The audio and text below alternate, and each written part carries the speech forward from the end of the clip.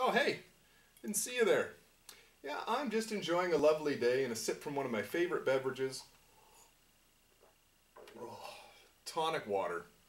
Now, the substance that gives tonic water its characteristic flavor is a compound called quinine. And there's actually a pretty interesting story behind quinine. Actually, it's not so much interesting as it is long. Quinine is a compound isolated from the bark of the cinchona tree, or at least was first isolated from the bark of the cinchona tree, a tree native to regions of South America, specifically around Peru. And the cinchona tree itself has a pretty interesting story. The name, the genus, of the cinchona tree came from Carolus Linnaeus, the individual who came up with our binomial system of nomenclature for naming living things. The binomial or two-name system by which we identify ourselves as, let's say, Homo sapiens, or the family dog as Canis familiaris. So he named it after a diplomat in the region uh, who first identified, at least publicly, the medicinal properties of the cinchona bark. And some of those medicinal properties not only included pain-killing properties, but also anti-malarial properties. And so these anti-malarial properties were then delivered to uh, subjects that were in the British colonies where malaria was a concern in the form of a tonic, or tonic water.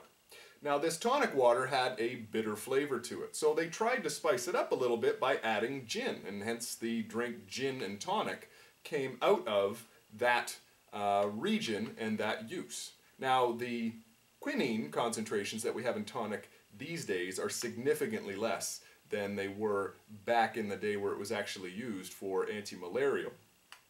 But it still is an interesting story, and it does explain why tonic water has the bitter flavor it does, because quinine itself is a base. In fact, it's a weak base. Now, why are we talking about weak bases? Well, you'll see.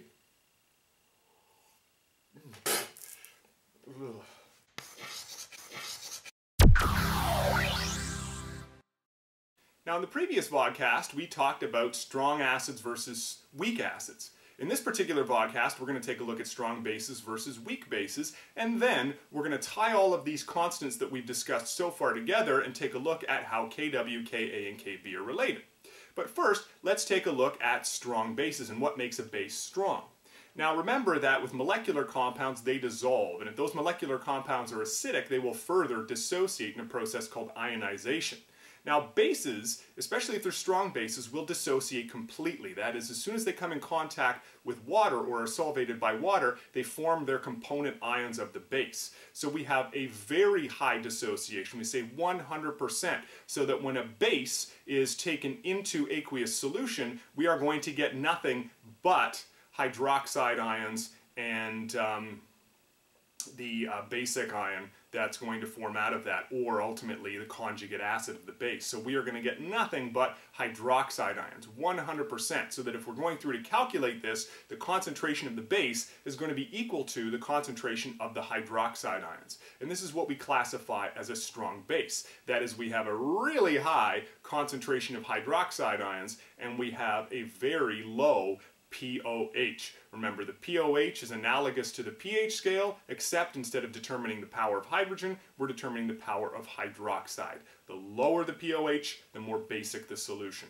Now, how do we identify these st strong bases just based on their formula? Well, strong bases, we classify them as hydroxides of group 1 and 2, with beryllium often being an exception there. So things like common bases that we tend to think about in terms of strength, things like uh, sodium hydroxide and lithium hydroxide and calcium hydroxide, if soluble, would be considered a strong base. So what makes a weak base then?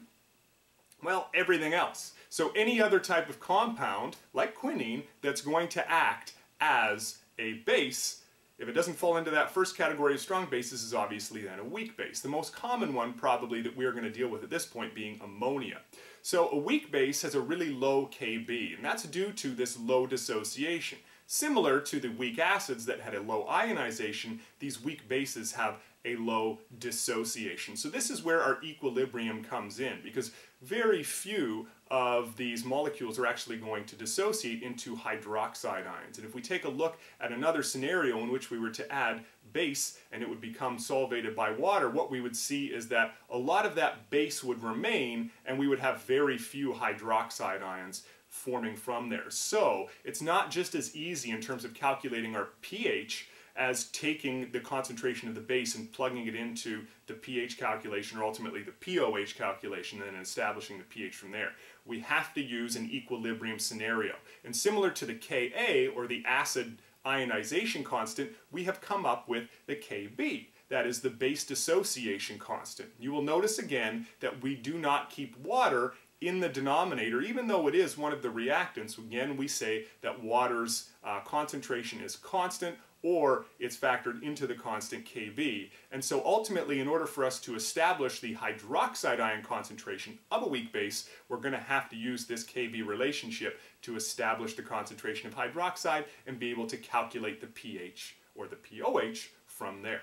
Now it's the moment you've been waiting for. Let's put all of these constants together and see how they're interrelated. So let's take a look at Kw, Ka, and Kb. And in order to do that, we're going to take a look at a scenario of conjugate acids and conjugate bases in order to derive the relationship that exists between these.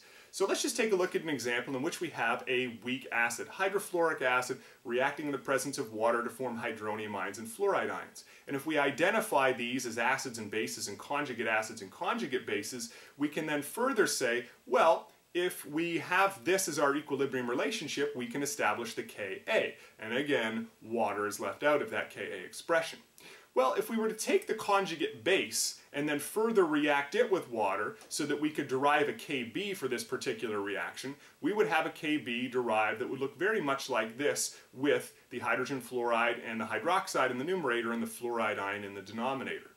Now, and humor me here, let's just say we were to take Ka and multiply it by Kb. And we put these two expressions together in order to do that what we would notice is that some of the values in the numerator and some of the values in the denominator are going to be the same. That is, they will divide out to 1. And if we do that, what we're left with is the concentration of the hydronium ion times the concentration of the hydroxide ion. And what does that look like? Well, that looks like Kw. So, the relationship that we can get out of this is that Kw is equal to the product of the Ka and the Kb. Okay, big deal right? Well, it is kind of a big deal because now that we understand the relationship between Kb, Ka, and Kw, if we want to figure out the Ka for the conjugate acid of a base, or if we want to figure out the Kb for the conjugate base of an acid, if at least we know one of those values, one of those Kas or one of those Kbs, often in tables of values that we can look up, we can now establish the Ka or Kb of the conjugates. And that's going to become valuable to us as we move on through our studies of acid-base equilibrium. So hopefully this video gave you a little bit of insight into bases and how we identify strong bases versus weak bases, but also gave you an understanding of the base dissociation constant, and ultimately it's very similar to the acid ionization constant that we've already talked about. But at least we now have a relationship that we can establish between Ka, Kb, and Kw. And we also have a better understanding of quinine and where the idea of tonic water came from.